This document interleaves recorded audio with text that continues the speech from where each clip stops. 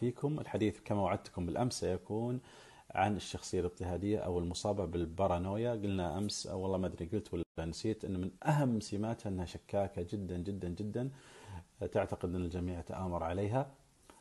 آه، نقطة مهمة قبل أن أبدأ بس المتخصصون فرقوا بين الاضطراب النفسي واضطراب الشخصية. الاضطراب النفسي فيه خلل في كيمياء المخ. مثال آه، ثنائي القطب مثل الفصام مثل الاكتئاب الحاد هذه لها علاقة بكيمياء هذا لا. اضطرابات الشخصية مثل الهستيرية الشخصية الهستيرية الشخصية النرجسية الشخصية الاعتمادية الشخصية التجنبية شخصيتنا هذه الاضطهادية أو المصاب بالبارانويا آه، ففرق بين هذا وهذا. آه، صاحبنا هذا الشخصية اللي عنده اضطراب شخصية ما يعترف الثاني يعترف. ويعرف أن عنده مشكلة. هذا ما يعرف ما يعترف أن عنده مشكلة. إذا خلونا من هذا المنطلق آه، آه، نبدأ. بسم الله. أولا لابد آه، أن ندرك حقيقة أن لا رهان على تغييره لأنه في الجملة غير معترف. طيب هذه نقطة. لا رهان على تغير الوضع. الرهان على تغيير ردة الفعل. هذه نقطة مهمة. الأمر الثاني راعي درجة القرابة أحيانا في بعض الحالات لابد أن نكون أكثر نضج أكثر حكمة أكثر عقل أكثر استبصار للأمور. نكون الطرف الأقوى نحافظ على العلاقة.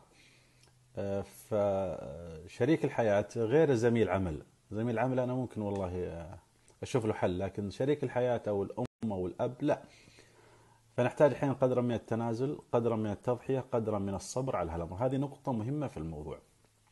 الأمر الذي الذي يليه آه، الانتقاد لابد أن يكون مرة لين لهذه الشخصية بعد أن يسبقها شيء من الثناء وشيء من الكلمات الطيبة. أو أن يتولى آخر أقول أو أن يتولى أحد ممكن أنه يؤثر عليه المهمة. الأخت الكبيرة صديق آخر سين من الناس ممكن هو اللي يوصل المعلومة. الأمر أيضا المهم لا يجرجرك ولا يستدرجك إلى معاركه.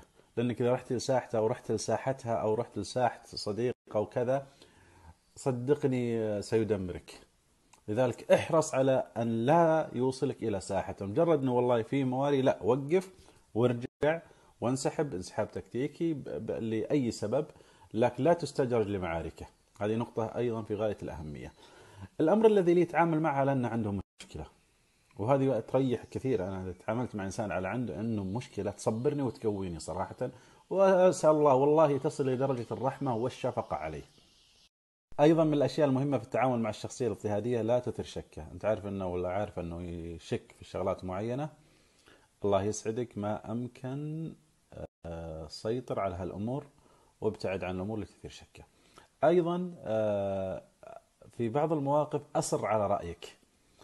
يعني ممكن والله يقترح عليك لون معين أو حاجة معينة أو فكرة معينة تخصك أنت لا تستجب له حتى آه، لا يسيطر عليك أو لا يتوهم أنه تحت أنك تحت السيطرة.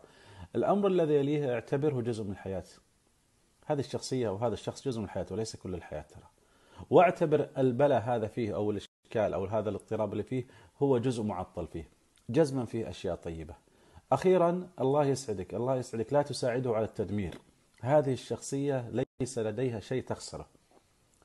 فحافظ على العلاقات حافظ على الصلة حافظ على الرحم حافظ على الأسرة إذا وجد فيه هذا الشيء فيما يخص هذه الشخصية. كل فترة إن شاء الله نعطيكم شخصية معينة ونشوف كيف نتعامل معها. الله يوفقكم وييسر أمري وأمركم. بس قبل ما أودعكم لا يكون من اللي يسمعوني في هذه الشخصية وهو ما يدري.